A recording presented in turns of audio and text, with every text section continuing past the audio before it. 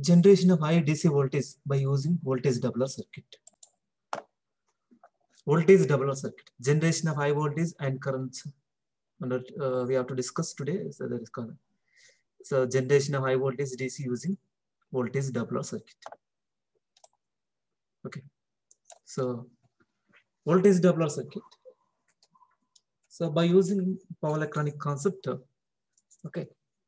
So we have to generate the very high voltages. Okay.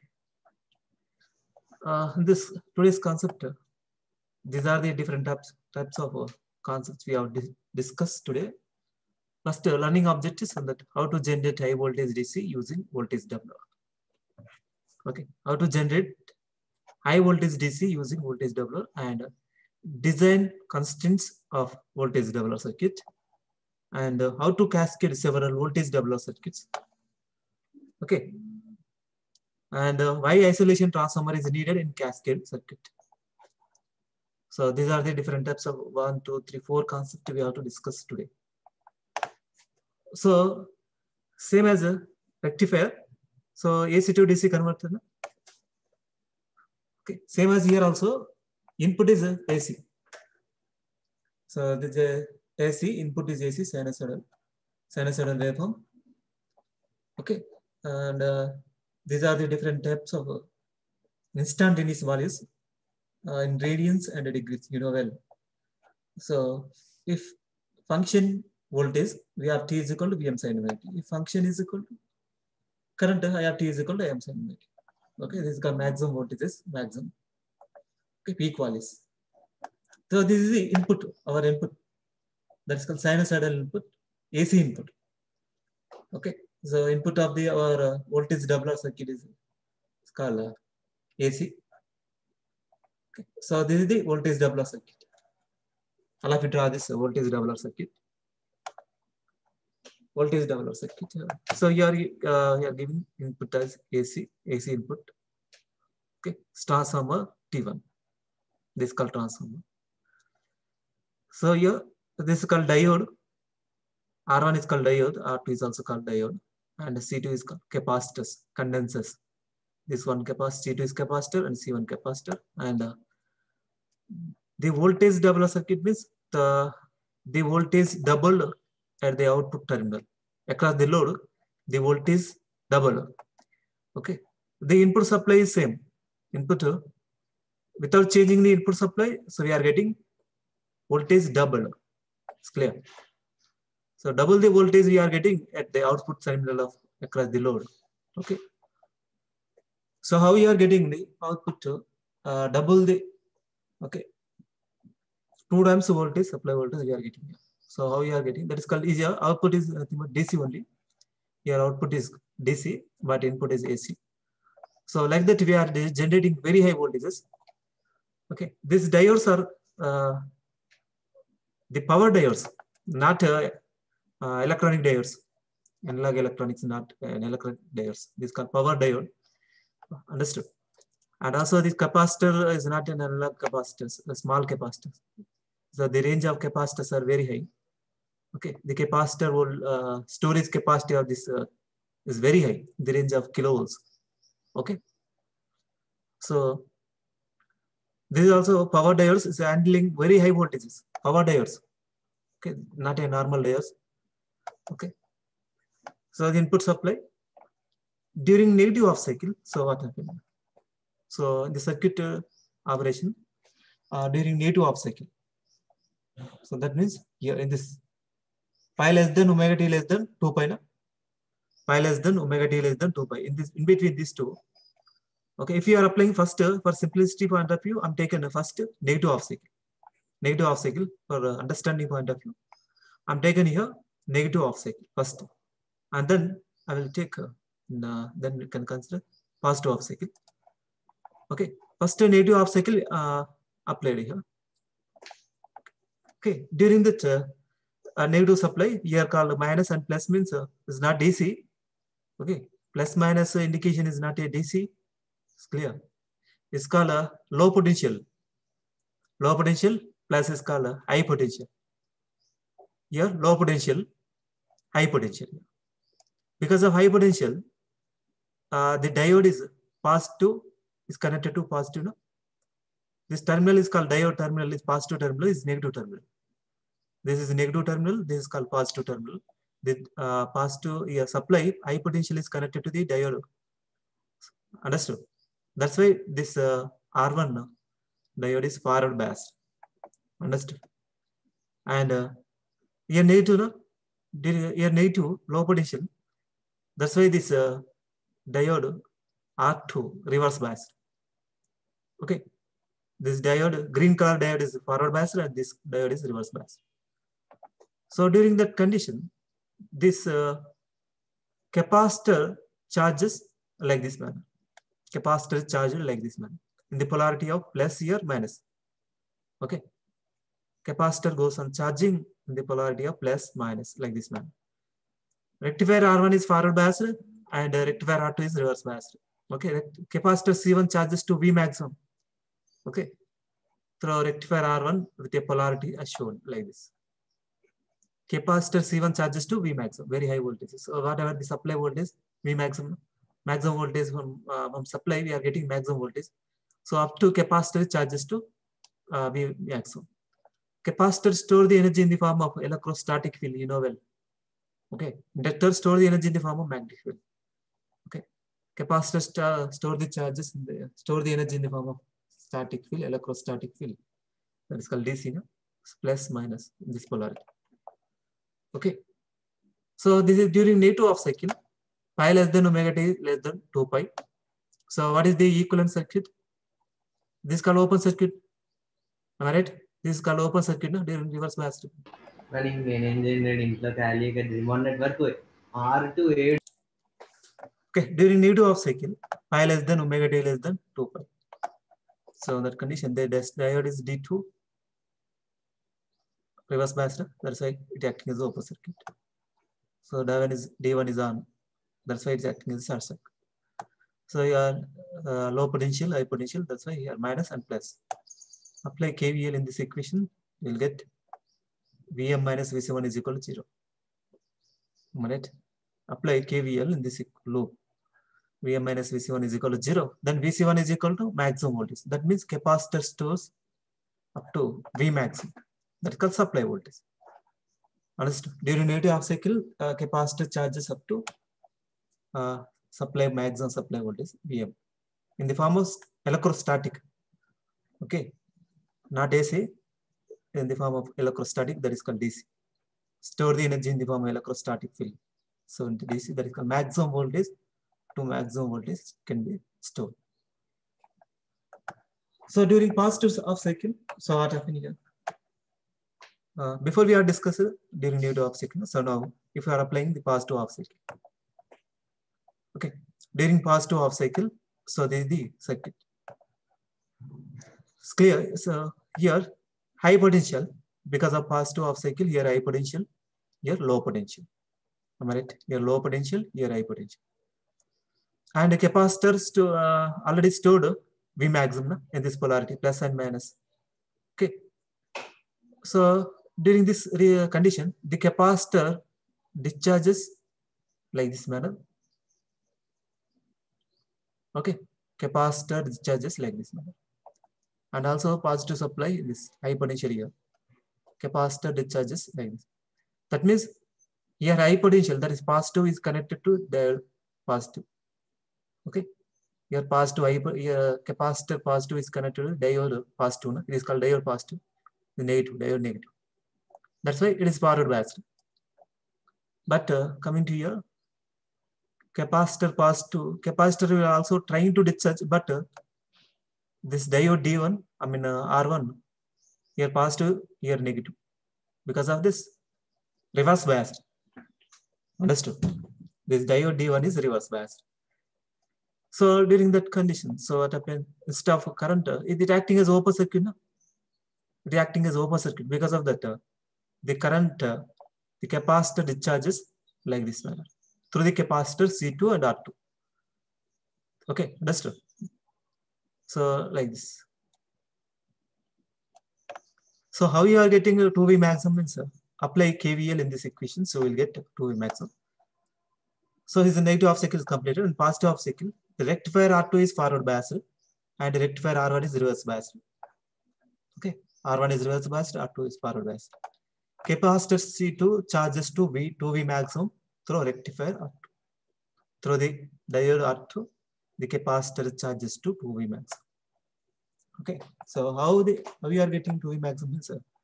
So draw the circuit, is open circuit, equivalent circuit under ne- negative positive half cycle. Now we draw the, open circuit, open the circuit is apply KVL this loop, will get to 2V maximum like this. During positive half cycle, during positive half cycle, 2 pi less than omega t less than 3 pi. Okay. So during the con condition, so this is called supply voltage, higher potential, lower potential, and the capacitor is already charged, plus minus, right? And D1 is off, reverse bias because of that. It's open circuiting, and D2 is on. Okay, it's short circuit, and uh, C2 charges like this. Apply KVL in this minus Vs minus Vc1, okay, plus Vc2 is equal to 0. Here minus entering minus minus Vs. Here also entering minus minus Vsc1. Here entering positive. That's why Vc2 is equal to 0. Vc2 is equal to Vs plus Vc1. Vs is equal to supply voltage, that is called maximum voltage. Here Vm, Vs is equal to Vm. And also Vc1 is also Vm. Then Vc2 is equal to 2Vm. So like this we are getting. That means the voltage across the load. So you are getting uh, 2 Vm. That is, that's why this is called a voltage doubler. Okay. Voltage doubler, why means uh, we are getting uh, voltage across the load is called 2 Vm. Okay, that's why the circuit is called a voltage doubler circuit. Understand? By cascading the number of, uh, if you are cascading, uh, this is called one voltage double circuit. If same type of circuit you are connected, cascade or connected in series. So what is the voltage we are getting? How much voltage we have to get uh, if you are cascading that 4 volts? Then one more circuit if you are cascaded in series with it, will get 6 volts. So that means 2 volts, 4 volts, 6 volts, 8 volts. Okay, like that, uh, the voltage goes on increasing. Am I right? And if you are connecting uh, one more this circuit in, in cascaded or series connection, you will get a high voltage. So like that, uh, we are by using voltage doubler circuit, by using this circuit, so we have to generate very high voltage. For example, capacitor voltage is uh, 10 kilovolts. Okay. For example, supply voltage is 10 kilovolts. How much voltage you are getting? Two times, na? 20 kilovolts you are getting. Okay. So voltage doubler waveforms. These are the different types of waveforms across the uh, condensers and input. So one uh, AC input voltage waveform. AC input voltage is called one. First one is called AC input voltage waveform. So this uh, AC input voltage waveform. For negative, sir, first I'm taking negative now. For understanding purpose, I'm taking negative first. Like that. That's why I'm indicated here negative. So negative to first. AC input voltage waveform is called negative like this. And AC output voltage waveform without condenser filter. Second one is called AC output voltage without condenser filter. This is the waveform. And DC output voltage with condenser filter. So this is called. so finally we are getting by using filters. So they are getting very high voltage DC. Understood? So like that, like that you have generated the voltage by using voltage doubler circuit. Okay. So in the output, uh, because of uh, harmonic distortions, because of uh, ripples, okay, because of ripples, because of harmonics, the output is not in pure DC. Okay, not in pure DC, the output is not in pure DC because of ripples, because of harmonics. Okay, and also because of losses. So because of losses also, we are not getting 2 VM. Exactly 2 VM you are not getting across the load. Because of losses across the diode, this diodes and this uh, uh, capacitor. and across the diodes R1, R2. Because of that, uh, we are not getting exactly 2 VM. Understood? So somewhat less than less than 2 VM, that means approximately 1.8 times of VM. Okay, like that we are getting. Circuit operation. All of you write uh, this is circuit operation. Okay, I think you are understood the concept. Okay, so all of you write fast. During day two of cycle, condenser C1 gets charged through rectifier R1. Maximum voltage of V maximum with a polarity I shown in diagram like this. Okay, polarity I shown in diagram plus minus. Likewise, uh, uh, the capacitor C1 charged. Understood? Second, in positive half cycle, as the transformer voltage rises to V maximum, the potential of, uh, of the other terminal C1 rises to 2 V maximum. Okay.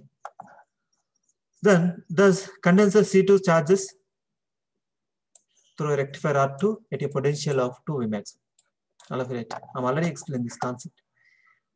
The DC output voltage on the load will be less than 2 V maximum depending upon the time constant of C2 RL and the charging time constant.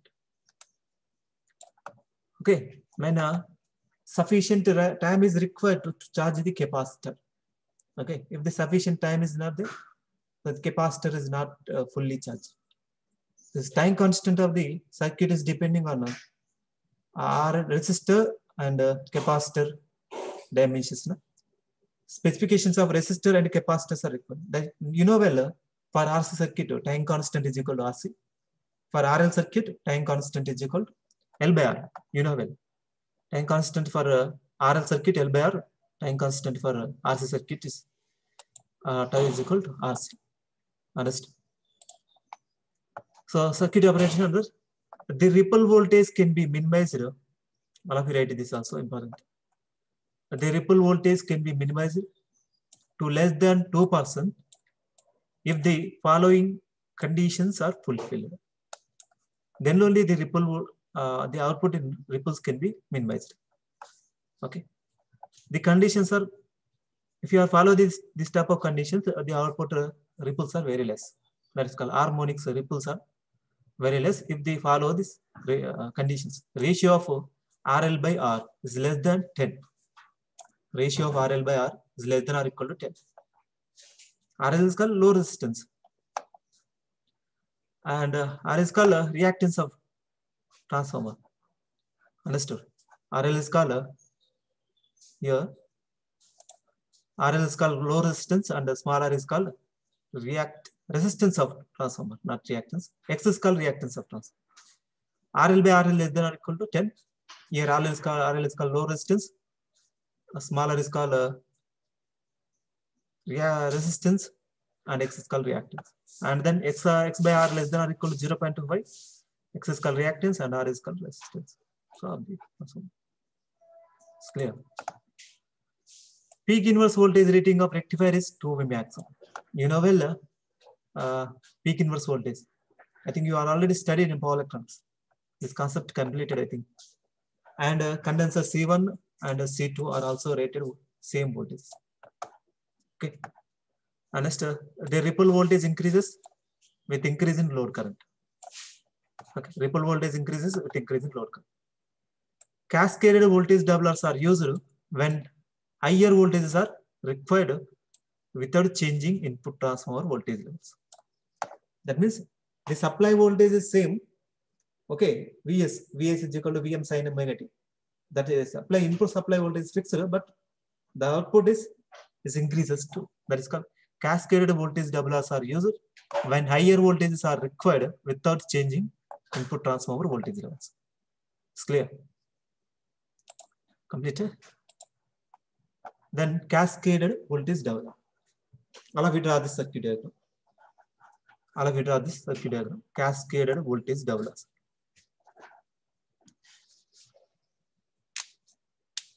You draw this. This is called AC supply.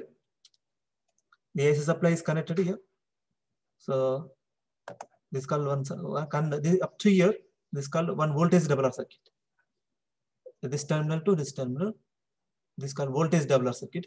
if you are one more connected uh, volt, uh, voltage doubler circuit cascaded. Okay. So here we are connect we are cascaded one voltage doubler circuit or connected series series with the first voltage doubler circuit. So you are getting two volts now. Here two volts. Second voltage doubler total voltage is nothing but here two volts and two volts. Here two volts, here two volts. The total voltage is called four volts. By using this voltage doubler circuit, we are getting two volts. By using this voltage doubler circuit, we are getting two volts, and then total voltage is four volts. It's clear. So like this, we are getting uh, four volts across the uh, load. If you are connecting, I'm connected here only one voltage doubler circuit. Okay. So this uh, isolation transformer. Isolation transformer to isolate the this uh, this uh, uh, voltage doubler circuit uh, transformer to here. This two voltage very high voltage to isolate the, these two. Uh, so we have to use one uh, one circuit that is called isolation transformer. That is called one to one is to one transformer. Okay, the uh, isolation transformer is used to isolate the DC and AC. Okay, isolation transformer is used to isolate the DC and AC. So one is to one transformer. So here uh, from here, two volts we are getting that is called DC now. So very high voltage DC. Okay, that can be isolated by using isolation transformer to the this transformer. Okay, circuit operation. i Allow here the rectifier R1 and R2 are transformers T1 along with the condenser C1 and C2 from simple voltage doubler providing output voltage 2 volts. Describes above. I'm already explained this one.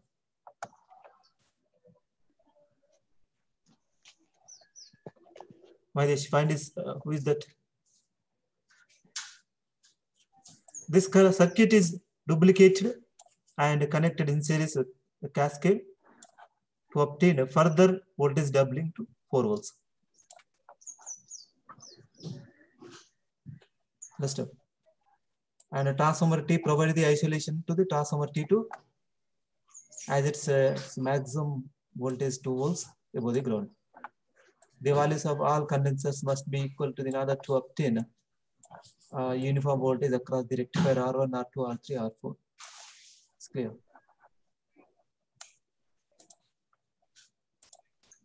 And then just fifth one, the arrangement may be extended by adding more stages to obtain volt voltages 6 volts, 8 volts higher. The design of isolation transformer at higher voltage levels becomes cumbersome above voltage 4 volts as cathode potential of higher stage rectifiers at high, potential above the ground. Cumbersome nothing but zigzag connections. If you are using, if you are generating very high voltages, 4 volts, 6 volts, 8 volts, the isolation transformers are required. So the connection will be in a, complicated zigzag connection. Okay, so this is about voltage doubler circuit. It's clear. So by using voltage doubler circuit, uh, we are we have to generate very high voltage. Electron microscopes, applications of high voltage. X-ray units, electrostatic precipitators, particle accelerators, testing of power apparatus used in transmission of power at extra high voltage 400 kV. These are the different types of applications of high voltages. In electrical engineering, mainly high voltage are used for insulation testing. Okay.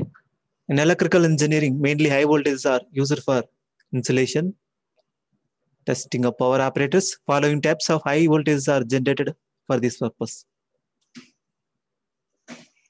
High voltage DC, high volt AC voltage of power frequency, high AC voltage of high frequency, high transient or impulse voltage of very short duration, lightning over voltages. These are very short duration, lightning over voltages. Transient over voltage of long duration, switching surges. Okay. So for this purpose, uh, the following types of high voltages are generated. Okay. Need for high voltage, high currents. In high voltage testing, the insulation failure test results. By using high current, it is possible to test the insulation. The current due to high DC and AC voltage is limited to less than 1 ampere. Current is limited to few amperes for impulse voltages. Okay. Current of several hundreds amperes uh, result during short circuit testing of switchgear. Current of several hundreds of amp amperes results during short circuit testing of switchgear. Very high currents up to 100 kilo ohms is observed during testing of surge diverters. And the next uh, generation of high DC voltage is completed. Generation of high DC voltage. High DC voltages are used, are used in insulation testing of cables and capacitors. This first one. All of right fast. For charging of impulse generators, units at high voltages 100 kV to 200 kV. Okay, charging of impulse generator units uh, at voltages of 100 kV to 200. Electronic valve rectifiers are used for the voltage up to 100 kV and uh, current of 100 milliamps. Special construction of cathode and filament is required due to high electrostatic fields. Half wave rectifier and full wave rectifier. You know well uh, half wave rectifier. Okay, so I, think uh, explanation is not required. This is called half wave rectifier circuit. During positive half cycle, this diode is uh, on, and then we are getting the output like this. Okay. Uh, during negative half cycle operation, you know well, so not required. The output frequency is equal to okay input frequency. So like this, same as a supply frequency in half wave rectifier. Advantages and disadvantages. These are the advantages and disadvantages of half wave rectifier. Okay. Uh, next, uh, full wave rectifier. So this is called full wave rectifier. During positive half cycle, it will be conducting, and during negative half cycle, it is conducting. That's why the total full cycle is converted like like this manner, DC. Okay, it's a repulsor. If you are using filters, you are getting exactly DC. Wave bridge rectifier. This is called bridge rectifier. To avoid the center tap transformer, uh, these bridge rectifiers are used. Okay, during positive half cycle, this is conducting. Okay, here negative no, so negative. Here negative is conducting. That is why circuit is closed like this. Man. During positive half cycle, D1. Okay, here negative. This called so T4. Circuit is closed like. Understood? The output frequency of the full wave rectifier, F output is equal to 2 times of F input. Supply frequency of the full wave rectifier, output frequency of the full wave rectifier is nothing but 2 times of the input frequency. Advantages and disadvantages, okay, like this. Uh, these are the different types of points and number of diodes, half wave rectifier, full wave rectifier, bridge, maximum efficiency. Okay, average current and DC. So these are the different types of values. So I think you know well uh, these are this concept from power electronics. It's clear. We already studied this concept in the power electronics concept. So not required to explain here and, and uh, high voltage engineering. It's clear.